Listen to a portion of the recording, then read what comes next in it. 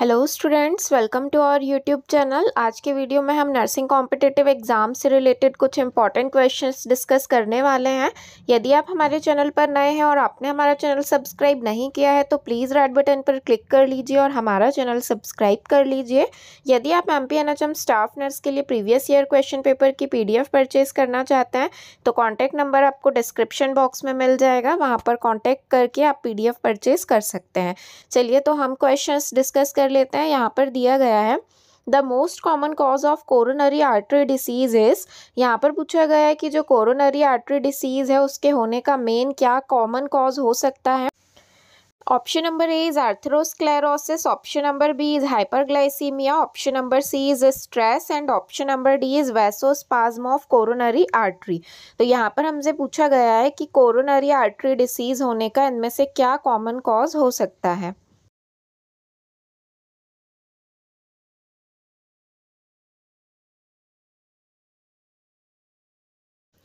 तो यहाँ पर इसका जो राइट आंसर है that is option number A arteriosclerosis atherosclerosis जो है, ऐसी कंडीशन होती है जिसमें कोरोनरी जो आर्टरी होती है, जो कि हार्ट को सप्लाई होती है, उसमें क्या हो जाता है प्लाक का डिपोजिशन हो जाता है जिसके कारण जो ब्लड सप्लाई है वो इम्पेयर्ड हो जाती है। तो यहाँ पर जो यहाँ पर कॉमन कॉज पूछा गया है तो एथरोस्क्लेरोसिस जो है, ये कोरोनरी आर्टरी डिसीज़ होने का मेन कॉज यहाँ पर माना जाता है।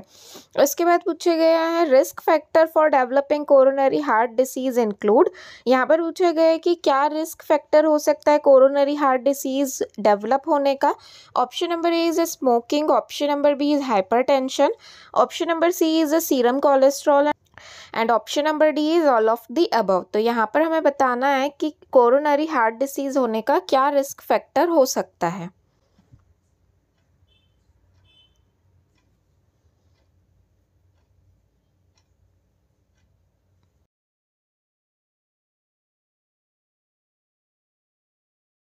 तो यहाँ पर इसका जो राइट आंसर है that is option number D all of the above तो यहाँ पर ये सभी जो है रिस्क फैक्टर कहलाएँगे कोरोनरी आर्टरी डिसीज डेवलप होने का स्मोकिंग हाइपरटेंशन सीरम कोलेस्ट्रॉल इन सभी रिस्क फैक्टर की वजह से जो है कोरोनरी आर्टरी डिसीज की कंडीशन डेवलप हो सकती है। उसके बाद पूछे गए pain in calf on dorsiflexion of the foot Homan sign में इंडिकेट यहाँ पर पूछा गया है कि पेशेंट को जो फुट है, उसे डॉर्सी फ्लेक्स करने में मतलब कि पीछे की तरफ़ जब जो फुट है, उसे मोड़ा जाता है तो काफ मसल्स में पेशेंट को पेन होता है, जिसे कि होमन साइन कहा जाता है। तो यहाँ पर हमें बताना है कि जो होमन साइन है, वो कौन सी कंडीशन को इंडिकेट करता है?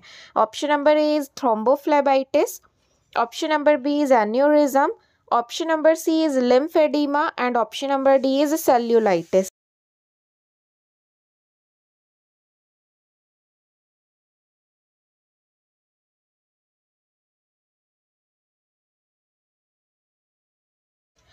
तो यहाँ पर इसका जो राइट आंसर है that is option number A thrombophlebitis thrombophlebitis ऐसी कंडीशन होती है जिसमें जो वेन्स होती हैं उनमें ब्लड का क्लॉटिंग जो है वो डेवलप हो जाता है, जिसके कारण ब्लड सप्लाई अच्छे से नहीं हो पाता है और जो वेन्स होती हैं उनमें इन्फ्लेमेशन होने लगता है। तो यहाँ पर इस कंडीशन को थ्रोम्बोफ्लेबाइटिस कहा जाता है या फिर इन्फ्लेमेशन ऑफ़ वेन्स की जो वॉल होती हैं उनमें इन्फ्लेमेशन को भी थ्रोम्बोफ्लेबाइटिस बोल सकते हैं या फिर ब्लड क्लॉट जो है वो डेवलप हो जाता है थ्रोम्बोफ्लेबाइटिस वाली कंडीशन में वेन्स में। उसके बाद नेक्स्ट क्वेश्चन में पूछा गया है glucocorticoids and mineralocorticoids are secreted by यहाँ पर पूछा गया है कि जो ग्लूकोकॉर्टिकॉइड्स और मिनरलोकॉर्टिकॉइड्स हैं, ये कहाँ से सिक्रीट होते हैं? Option number A is gonads option number B is adrenal gland option number C is pancreas and option number D is anterior pituitary तो यहाँ पर हमें बताना है कि जो ग्लूकोकॉर्टिकॉइड्स है और मिनरलोकॉर्टिकॉइड्स हैं, ये कहाँ से सिक्रीट होते हैं?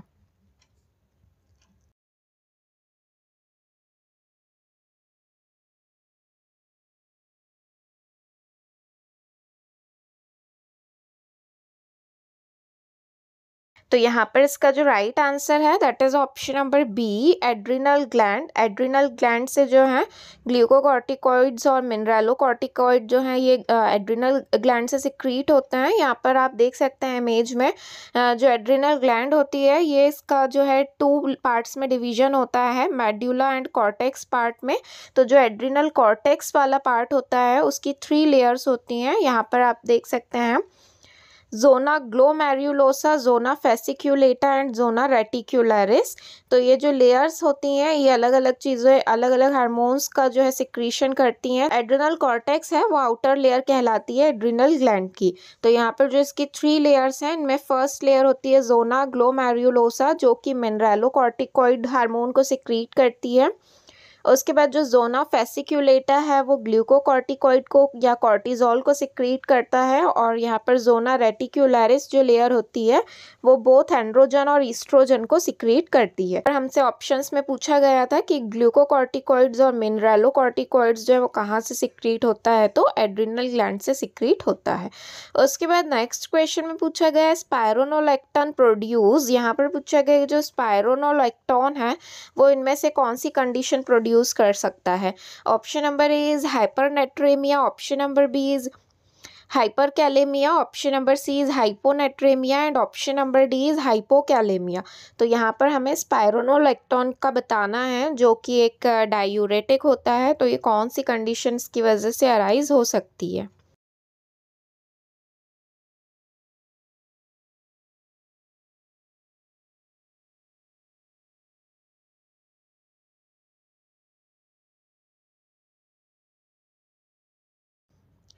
तो यहाँ पर इसका जो राइट आंसर है that is option number B hyperkalaemia hyperkalaemia ऐसी कंडीशन होती है जिसमें ब्लड में जो पोटेशियम का लेवल है, वो इंक्रीज़ हो जाता है, जिससे हाइपर कैलेमिया कहा जाता है। और स्पायरोनोलेक्टॉन क्या है? ये पोटेशियम स्पैरिंग डायूरेटिक होती है, जो कि क्या करती है? पोटेशियम को यूरिन में लॉस होने से डिक्रीज़ करती है प्रिवेंट करती है। तो इसकी वजह से क्या होगा? ब्लड में पोटेशियम का लेवल जो है, वो इंक्रीज़ हो सकता है। तो यहाँ पर स्पैनो स्पायरो स्पायरोनोलेक्टोन अगर हम पेशेंट को दे रहे हैं तो पेशेंट में हाइपर कैलेमिया की कंडीशन डेवलप हो सकती है। उसके बाद नेक्स्ट क्वेश्चन में पूछा गया है Cushing syndrome is caused by पूछा गया कि जो कुशिंग सिंड्रोम है, उसमें कौन सी कंडीशन की वजह से होता है? ऑप्शंस यहाँ पर आप देख सकते हैं। Option number A is increased corticosteroid hormone option number B is increased thyroid hormone option number C is increased anti diuretic hormone and option number D is increased aldosterone hormone पर हमें बताना है कि कुशिंग सिंड्रोम में इनमें से कौन सा हार्मोन जो है वो इंक्रीज होता है।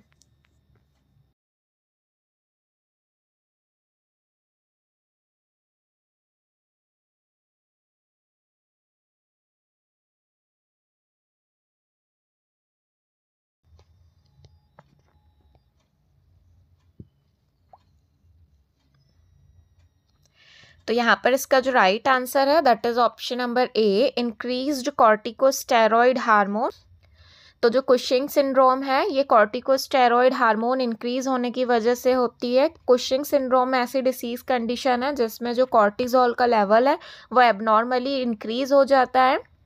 और ये जो कंडीशन है ओवर यूज़ ऑफ़ कॉर्टिकोस्टेरॉइड जो लोग कॉर्टिकोस्टेरॉइड का ज़्यादा ओवर यूज़ करते हैं, उनमें कुशिंग सिंड्रोम देखने को मिलता है। यहाँ पर एक क्वेश्चन और बनता है कि जो मोन लाइक फेस है, वो कौन सी डिसीज़ कंडीशन में देखने को मिलता है? तो जो अगर ऐसा क्वेश्चन आए तो उसका भी राइट आंसर रहेगा कुशिंग सिंड्रोम क्योंकि कुशिंग सिंड्रोम में जो है मोन लाइक फेस पेशेंट का देखा जाता है। फिर उसके बाद नेक्स्ट क्वेश्चन में पूछा गया व्हाट इज़ को एनाल अट्रेशिया यहाँ पर पूछा गया को एनाल अट्रेशिया कौन सी कंडीशन को कहते हैं? ऑप्शंस यहाँ पर देख सकते हैं। Option number A is congenital obstruction of the oropharynx oropharynx में यदि कंजेनाइटल ऑब्स्ट्रक्शन देखने को मिलता है, उसे कहेंगे या फिर congenital obstruction of the middle air middle ear का डिसऑर्डर है ये, या फिर option number C congenital obstruction of the urethra या फिर option number D congenital obstruction of nasopharynx तो यहाँ पर हमें बताना है को एनालट्रेशिया कौन सी कंडीशन को कहा जाता है?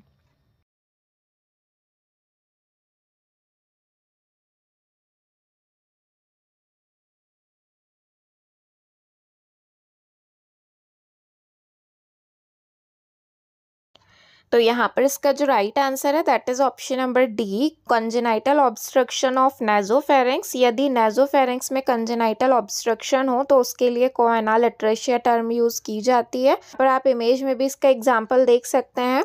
जो नॉर्मल नेजोफेरेंक्स है वो इस तरीके से रहना चाहिए ओपन रहना चाहिए लेकिन कोएनाल एट्रेशिया वाली कंडीशन में इस तरीके से जो है बोन्स के, के द्वारा यहाँ पर ब्लॉकेज रहता है ब्लॉक्ड रहता है नेजोफेरेंक्स तो उसे कोएनाल एट्रेशिया कहा जाता है।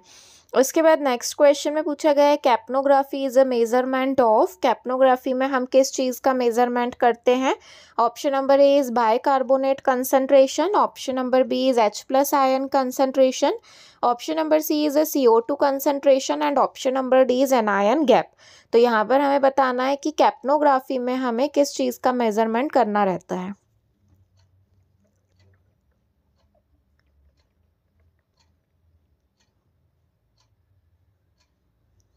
तो यहाँ पर इसका जो राइट आंसर है that is option number C C O two का सी ओ टू का कंसनट्रेशन हम कैप्नोग्राफी के द्वारा मेज़र करते हैं।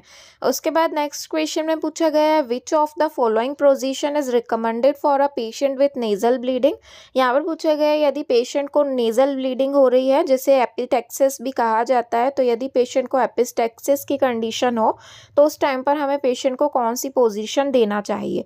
Option number A is lying down with feet elevated elevated feet elevate करके लाइन लाइंग डाउन पोजीशन देनी है।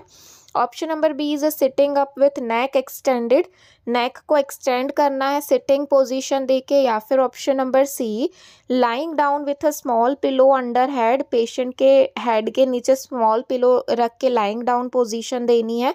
या फिर option number D sitting up with head slightly leaning या फिर हमें लीनिंग फॉरवर्ड लीनिंग पोजीशन देनी है सिटिंग पोजीशन में।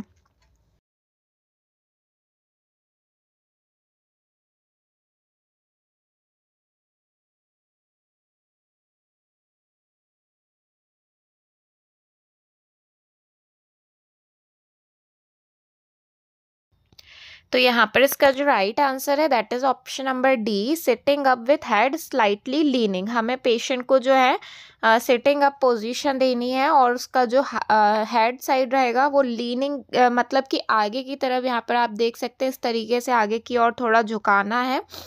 जो पेशेंट की नोज़ है उसे पिंच करके और फिर हमें sitting up slightly leaning position patient को देनी है। इस तरीके से जो है इमेज में आप यहाँ पर देख सकते हैं। उसके बाद नेक्स्ट क्वेश्चन में पूछा गया which of the following is not found in urine option number A is only glucose option number B is only protein and option number C is all of the above यहाँ पर एक option missing है तो यहाँ पर आप लोगों को बताना है यूरिन में जो है इनमें से क्या चीज़ प्रेजेंट नहीं होती है।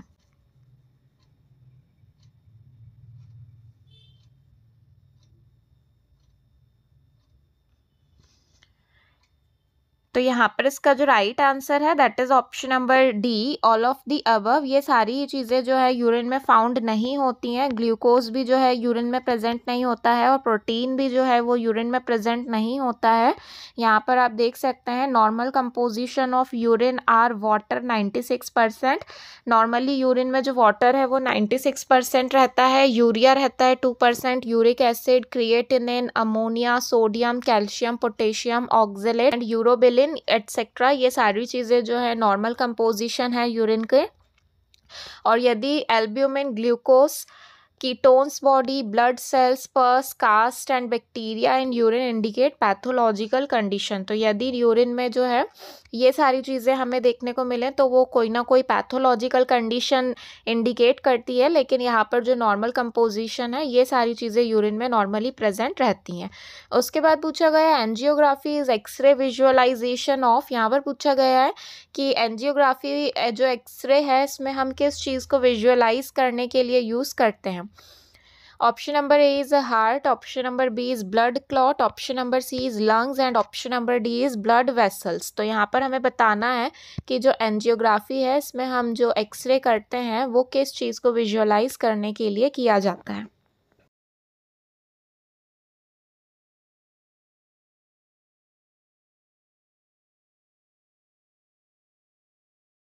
तो यहाँ पर इसका जो राइट आंसर है that is option number D blood vessels blood vessels को जो है विजुअलाइज करने के लिए एंजियोग्राफी टेस्ट परफॉर्म किया जाता है। और इसमें जो है, ये कोरोनरी आर्टरी डिसीज़ वाली कंडीशन होती है, उसमें जो कोरोनरी आर्टरी होती है, जिसमें प्लाक का डिपोजिशन हो जाता है, जैसा हमने देखा था कोरोनरी आर्टरी डिसऑर्डर में, उसे आइडेंटिफाई करने के लिए एंजियोग्राफी टेस्ट किया जाता है। उसके बाद नेक्स्ट क्वेश्चन में पूछा गया tetany post operatively may be caused by यहाँ पर पूछा गया कि यदि सर्जरी के बाद पेशेंट को टिटनी की कंडीशन डेवलप हो रही है तो वो किस कारण से हो सकती है?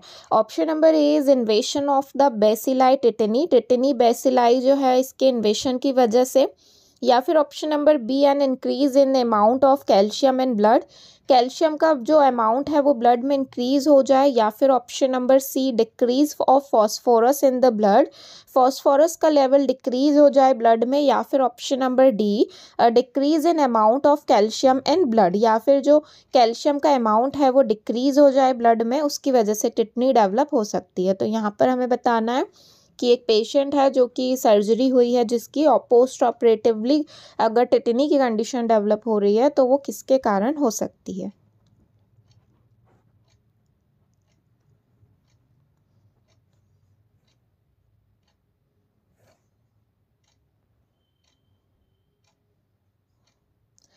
तो यहाँ पर इसका जो राइट आंसर है that is option number D a decrease in amount of calcium in the blood यदि ब्लड में जो कैल्शियम का अमाउंट है वो डिक्रीज हो जाता है सर्जरी uh, के टाइम पर तो उसकी वजह से टेटनी की कंडीशन अराइज हो सकती है। टेटनी की कंडीशन में क्या होता है? जो मसल्स हैं उनमें इनवॉल इनवॉल्यूंटरी मूवमेंट्स हमें देखने को मिलते हैं कॉन्ट्रेक्शंस आते हैं पेशेंट को। आ, क्योंकि जो पेरिफेरल नर्व है वो क्या हो जाती हैं? स्टिमुलेट हो जाती हैं इलेक्ट्रोलाइट इम्बैलेंस होने की वजह से। तो यदि जो ब्लड में कैल्शियम का लेवल कम होगा इलेक्ट्रोलाइट इम्बैलेंस होते हैं तो उसकी वजह से जो नर्व हैं पेरीफेरल नर्व वो स्टिमुलेट हो जाती हैं और इनवॉल्यूंटरी मसल कॉन्ट्रेक्शन देखने को मिलते हैं, जिस, जो कि टिटनी को इंडिकेट करता है। तो यहाँ पर इसका राइट आंसर रहेगा ऑप्शन नंबर डी उसके बाद नेक्स्ट क्वेश्चन में पूछा गया है C A B G stand for यहाँ पर पूछा गया है सी ए बी जी का full form option number A is cranial artery bypass graft option number B is cerebral artery bypass graft option number C is coronary artery bypass graft and option number D is cerebellum artery bypass graft तो यहाँ पर हमें सी A B G का full form बताना है।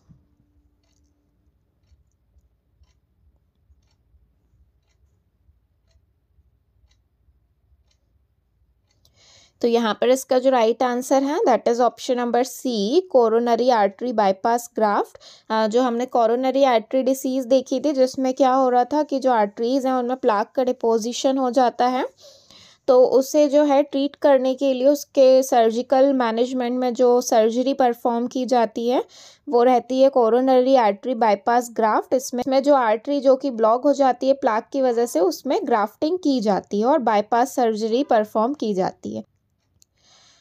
उसके बाद next question में पूछा गया and overgrowth of bones and soft tissues is seen in यहाँ पे यदि बोन्स और सॉफ्ट टिश्यू में ओवर ग्रोथ हो जाए तो कौन सी कंडीशन अराइज हो सकती है?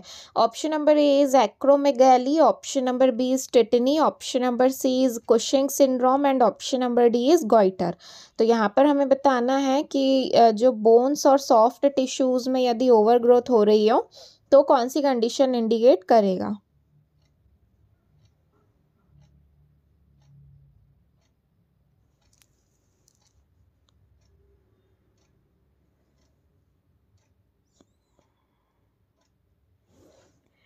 तो यहाँ पर इसका जो राइट आंसर है that is option number A acromegaly एक, तो एक्रोमेगाली ऐसी कंडीशन होती है जिसमें जो बोन्स और सॉफ्ट टिश्यूज होते हैं उनमें एबनॉर्मली ओवर ग्रोथ देखने को मिलती है। उसके बाद नेक्स्ट क्वेश्चन में पूछा गया है Korsakoff syndrome occurs due to the intake of यहाँ पर पूछा गया है कि जो कॉर्साकॉफ सिंड्रोम है वो इसमें से किस चीज़ के इंटेक की वजह से होता है? Option number A is cannabis. Option number B is opium. Option number C is alcohol. And option number D is amphetamine.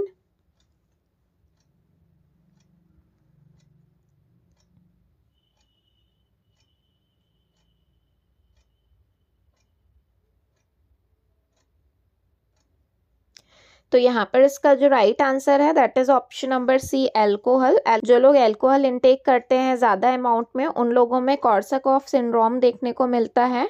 कॉर्सकॉफ syndrome ऐसी कंडीशन होती है, जो कि एक प्रकार का मेमोरी डिसऑर्डर है, या फिर इसे एमनेशिया सिंड्रोम भी कहा जाता है, जो कि विटामिन बी वन की डेफिशिएंसी की वजह से होती है। तो तो यहाँ पर जो लोग बहुत ज़्यादा अमाउंट में अल्कोहल इंटेक करते हैं क्रॉनिक एल्कोहलिज्म वाली कंडीशन से क्या होता है, जो विटामिन विटामिन बी वन है, उसकी डेफिशिएंसी हो जाती है और विटामिन बी वन की डेफिशिएंसी की वजह से मेमोरी डिसऑर्डर डेवलप होती है, जिसे कॉर्सकॉफ सिंड्रोम कहा जाता है। तो आज के वीडियो में हमने नर्सिंग कॉम्पिटिटिव एग्ज़ाम के लिए कुछ इंपॉर्टेंट क्वेश्चंस डिस्कस किए हैं। यदि आप और क्वेश्चंस देखना चाहते हैं तो हमारे चैनल पर प्लेलिस्ट क्रिएट की हुई है M P N H M staff nurse की। वहाँ पर जाकर देख सकते हैं और यदि आप M P N H M staff nurse के लिए प्रीवियस ईयर क्वेश्चन पेपर की पी डी एफ़ परचेज करना चाहते हैं तो कॉन्टैक्ट नंबर आपको डिस्क्रिप्शन बॉक्स में मिल जाएगा। वहाँ पर कॉन्टैक्ट करके आप पी डी एफ़ परचेज कर सकते हैं। Thank you